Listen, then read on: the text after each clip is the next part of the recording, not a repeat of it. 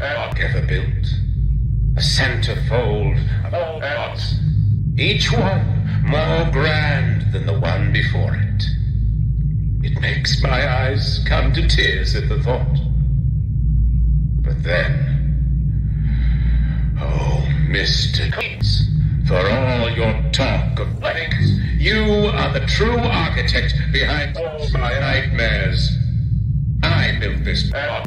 It was to be a masterpiece, my masterpiece. And now you think you can just throw me out, trample me to the dust and forget me? No! This is my.